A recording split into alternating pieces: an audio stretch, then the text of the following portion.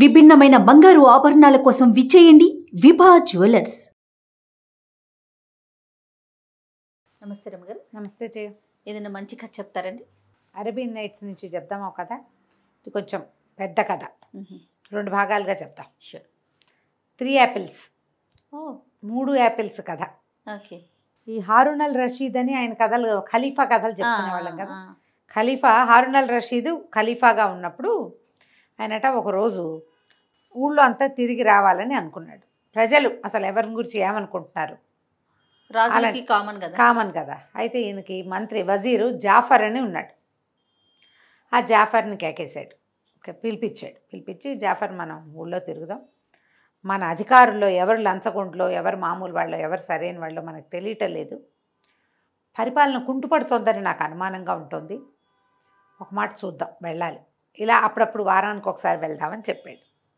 పొద్దుటిపూట ఉదయకాలం రేపు వెళ్దామన్నాడు ఉదయకాలం నమాజులు గిమాజులు ముగించుకుని చక్కగా ఆహారం అల్పాహారం సేవించి ఈయన ఒక బానిస తోడురాగా ఆయన వాడు ఎవరంటే కొంచెం బలాఢ్యుడు నల్ల బానిసలు ఉంటారట వాళ్ళకి.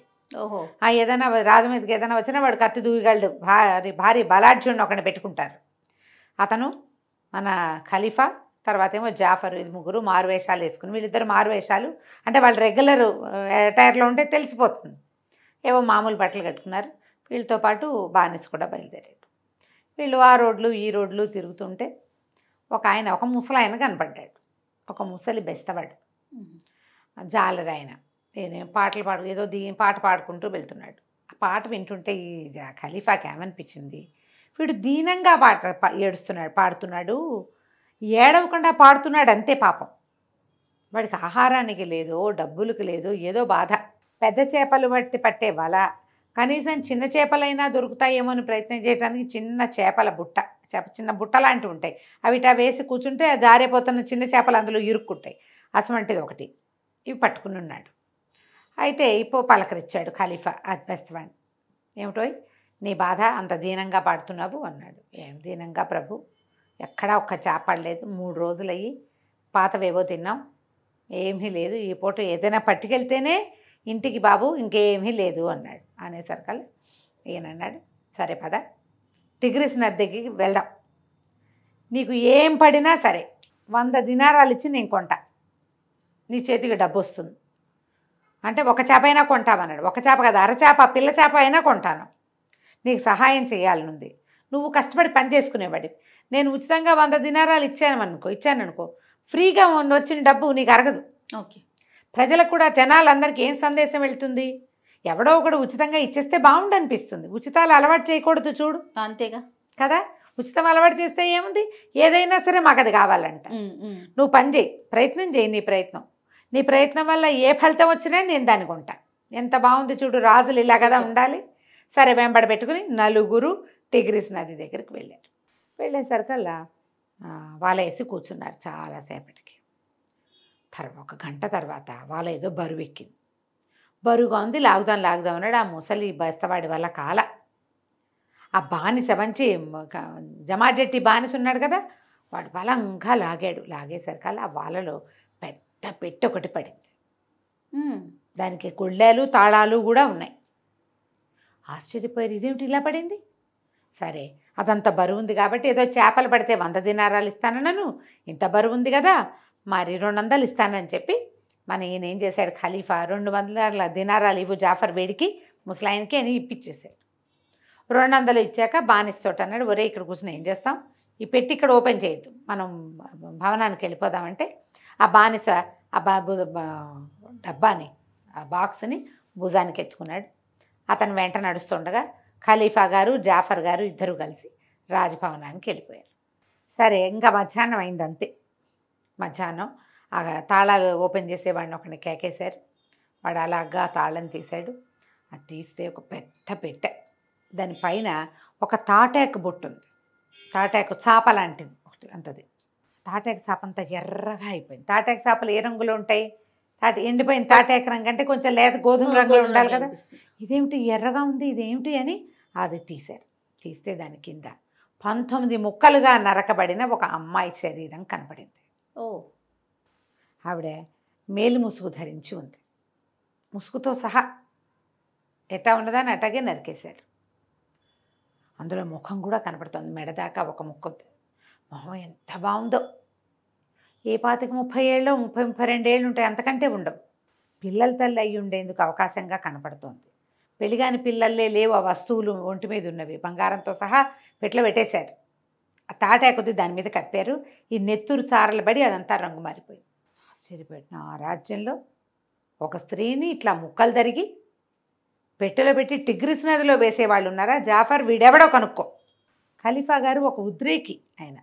తీవ్ర ప్రకృతి అనమాట వీడెవడో మూడు రోజుల్లోగా నువ్వు కనిపెట్టకపోయావో నిన్ను నీ కుటుంబాన్ని నడిన బజార్లో ఉరిదీస్తాను వాడెవడో చంపితే వీడిని ఉరిదీయటం ఏమిటి? ఆయన కుటుంబాన్ని. కుటుంబం నిన్ను నీ కుటుంబాన్ని నడి బజార్లో ఉరిదీస్తా మూడు రోజులు నీ గడువు. నేను పాలకుడుగా ఉండి నువ్వు వజీరుగా ఉండి ఎవడికి ఎన్ని గుండెలు? ఇట్లా ఒక అమ్మాయిని చంపేసి పెట్లో పెట్టి పాడేయడానికి పట్టు నీ సంగతి చెప్తానన్నాడు. ఆనంగానే ఈ జాఫర్ బికమం వేసుకున్నాడు. ఏం చేయాలి సరే ప్రభు వెతుకుతానన్నాడు. ఇహ వెతుకో వెతుకో వెతుకో. ఇప్పుడు ఎట్లా తెలుస్తుంది? మామూలుగా మనకి పోలీస్ డిపార్ట్మెంట్లో ఏదైనా ఒకటి ఏదైనా క్లూ ఉండాలి క్లూ ఉండాలి. మిస్సింగ్ ఎవరైనా మిస్ అయ్యారా? ఏదా ఎవరైనా రిపోర్ట్ ఇవ్వాలి. ఆడపిల్ల సెవెన్ దొరికింది. ఇప్పుడు ఏం చేస్తారు? వెంటనే అన్ని పోలీస్ స్టేషన్లకి కబర్ వెళ్ళిపోతుంది. మిస్సింగ్ ఏమైనా ఉన్నాయా? ఆ మిస్సింగ్ వాళ్ళ ఏజ్ ఎంత? ఇదో పద్దెనిమిది ఏళ్ళ పిల్ల అని రిపోర్ట్ వచ్చింది అనుకో ఈ బాడీకి.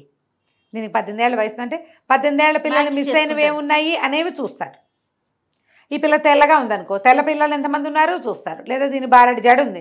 బారెడు జుట్ల వాళ్ళు ఉన్నారా? లేదా దీని మచ్చలు చుక్కలు ఇది పద్ధతి. ఓ సెవెన్ దొరికింది ఓ పెట్లో దాన్ని చంపినవాడెవడో కావాలంటే ఎట వస్తాడు? ఇక మూడు రోజులు నానా బాధ పడ్డాడు జాఫర్. ఇక్కడ పనులన్నీ మానేశాడు రోడ్ల మీద పడ్డాడు. ప్రతి దీంట్లో చిన్న చిన్నవి మన ఏమంటారు కార్ఖానాలతో సహా ఎవరైనా మిస్ అయ్యారా అని ప్రతి సందు గొందు ప్రతి మొహల అన్ని చోట్ల కనుక్కున్నాడు. ఎక్కడా ఎవరు మిస్ అయిన దాఖలాలు లేవు.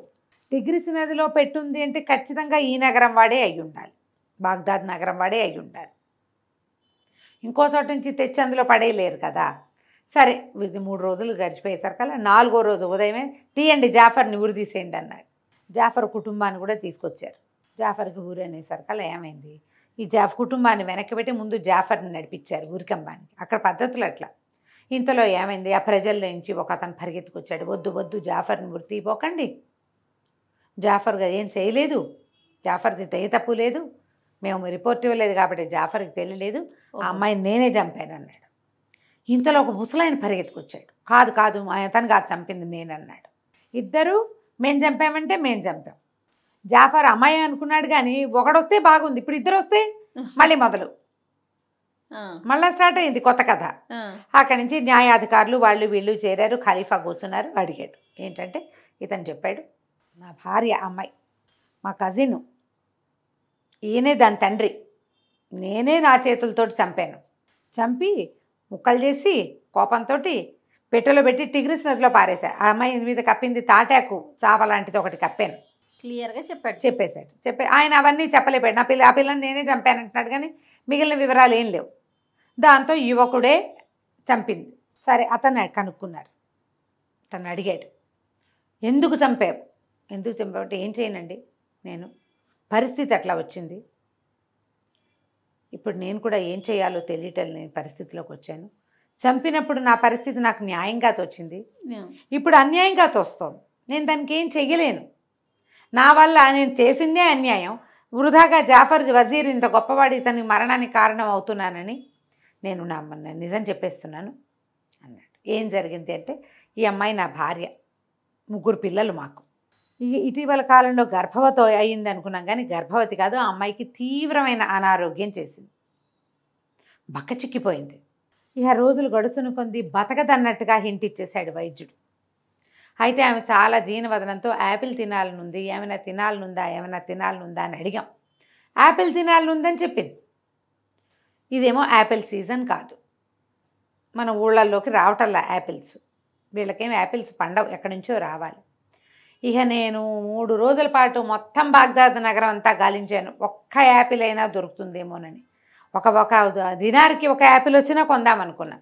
పదిహేను వేసి ఇరవై వేసి వచ్చేవిట వాళ్ళకి దినార్కి. ఒక్క యాపిల్ దొరికినా దినారికి ఒక్క యాపిల్ దొరికినా పట్టుకొచ్చి పెడదాం అనుకున్నా అమ్మాయి కోరిక తీర్చాలి కదా. లాస్ట్ కోరిక కదా. అనుకున్నాను నేను. అత్యంత ప్రీతమరాలైన భార్య నాకు. ఇప్పుడు నాకు నన్ను ఏదైనా చంపేస్తే రాజుగారికి నేను దొరికిపోతే నా పిల్లలు అన్యాయం అయిపోతారని మా మామగారేమో నేనే చేశాను. నేను కూతురుని తనే చంపాను అంటున్నాడు నిజానికి చంపింది నేను. నేనేం చేశాను? ఆ మొత్తం కొట్ల వెంబడి తిరిగా. తిరిగితే అక్కడ ఒక అతను చెప్పాడు బస్రా నగరంలో దొరుకుతాయి. ఆ బస్రాలో కూడా ఆ- రా ప్రాంతపు రాజుగారి తోటలో ఉన్నాయి. పర్మిషన్ లెటర్ ఒకటి తీసుకుంటే నువ్వు అక్కడి నుంచి కాయలు తెచ్చుకోవచ్చు. అంటే పదిహేను రోజుల పాటు ప్రయాణం చేసి నేను బసరా వెళ్ళా. అంటే వారం ప్రయాణం చేశాడు. మళ్ళీ వారం పడుతుంది తిరిగి రావడానికి. వెళ్ళి పెద్ద అధికారులను ఎవరినో ప్రాపకం సంపాదించుకుని వాళ్ళతో ఉత్తరం రాయించుకుని ఆ తోటలో ఆఖరి పళ్ళు మూడే ఉన్నాయి. మూడు పళ్ళకి మూడు దినార్లు చెల్లించి తోటమాలికి వాడిని బతిమలాడుకుని మూడు పళ్ళు పుచ్చుకొని వారం రోజులు తిరిగి వచ్చాం. మొత్తం కలిపి పదిహేను రోజులు ప్రయాణం. ఈ పదిహేను రోజుల్లో నా భార్య ఇంకా నీరసించిపోయింది. ఆ మూడు పళ్ళు ఆమె పక్కన పెట్టా. పక్కన పెట్టాను.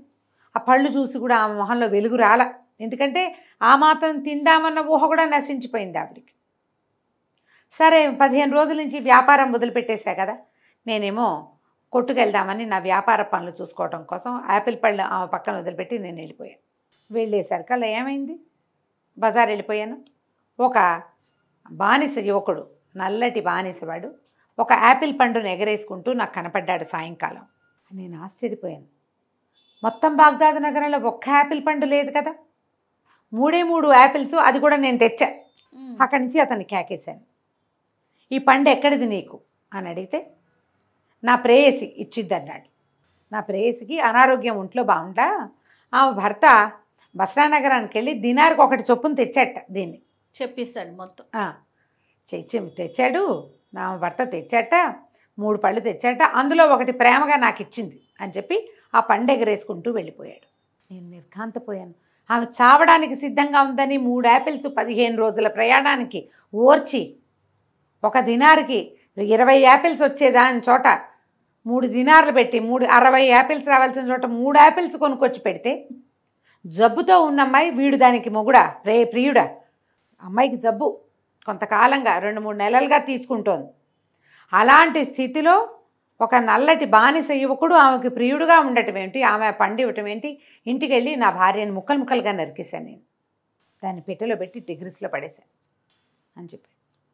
సభ అంతా ఆశ్చర్యపోయింది. ఎక్కడైనా ఉంటుందా ఇట్లా? అమ్మాయి హేల్ అండ్ హెల్తీగా ఉందనుకో దానికో ప్రియుడో ఫ్రెండో ఇంకోటో ఏదో ఒకటి ఉండొచ్చు. ఇక్కడ పరిస్థితి ఏంటి? అమ్మాయి చావడానికి సిద్ధంగా ఉంది. అలాంటి స్థితిలో వాడెవడో పరాయి వాడికి పండిస్తుందా. జనం అంతా ఆశ్చర్యపోయారు. మరి ఇప్పుడు నువ్వు ఎందుకు బాధపడుతున్నావయ్యా? చంపేశావు కదా పెళ్ళాన్ని. అమ్మాయి మంచి పని చేయలే చెడ్డ పని చేసింది. నీకు తెలిసింది. చంపేసి ముక్కలు చేసి పడేసావు నువ్వేం ఆవేశంలో చేసి చేయలా. జరిగింది అది బాగుంది మరి నువ్వే దీనవదనంతో ఎందుకున్నావు? అనేసరికల్లా నా దీనవదనానికి కారణం చెప్తాను ప్రభు అన్నాడు. ఏం చెప్పాడో వచ్చే భాగంలో విందాం. తప్పకుండా రమ్మగారు. భలే ఇంట్రెస్టింగ్గా ఉందండి. నమస్తే. నమస్తే జయ